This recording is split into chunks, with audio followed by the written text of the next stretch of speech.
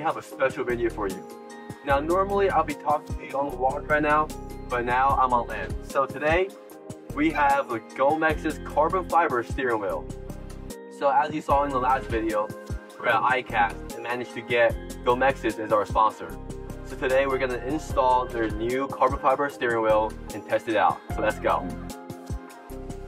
Alright everyone, so now at the helm, we're gonna start the installation of the full carbon fiber steering wheel Gomexus.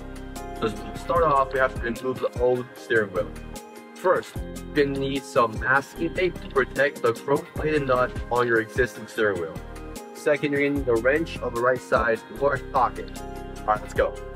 Okay, so first we're gonna start off taking the masking tape and mask off the entire nut. Start off on every single side. Just like that. Doesn't have to be pretty, you know, just cover this up. Now we can take a wrench. Our wrench. We're going to stick it in, in the. The sizing right. Hold it on. Right. Now it's supposed to loose. We can unscrew the nut. You see that we have the nut removed. So with this steering wheel, it's about two years old now, so it's going to be a little stiff. So you can just use find any tool that's thin enough to slide in between the actual piston unit and the steering wheel. Use that gap, just stick it in, work it in, and start prying up.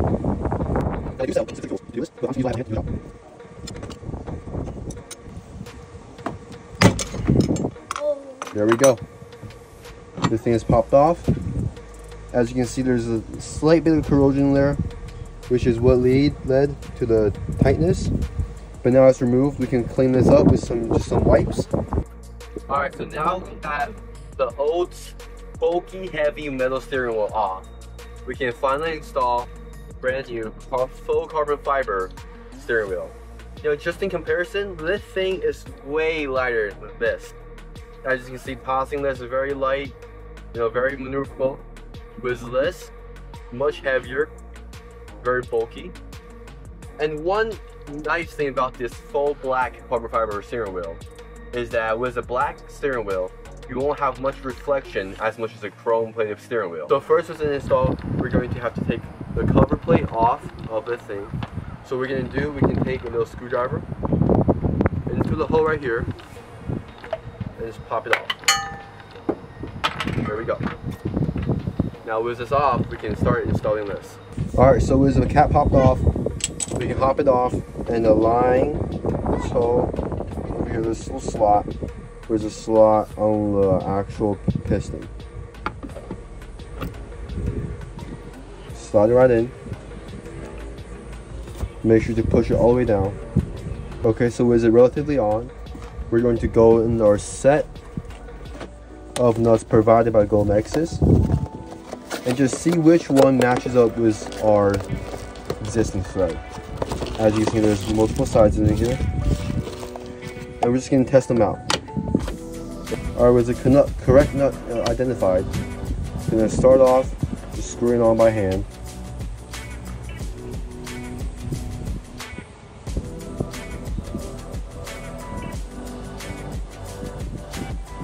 Now because of how this is a cover design, we're going to come in with a socket for this size. Alright, so now with the steering wheel installed and the nut tightened, we're going to take our Gomexus cover and align it so that way the bottom spoke is with the logo. Push it in, and there we go. Brand new carbon fiber steering wheel, and as you can already see, the reflection is much less. There's less surface area for you to reflect upon, and this beautiful spinning handle. Absolutely gorgeous.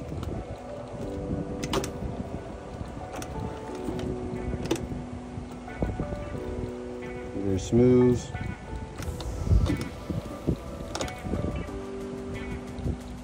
Everything's working great back there.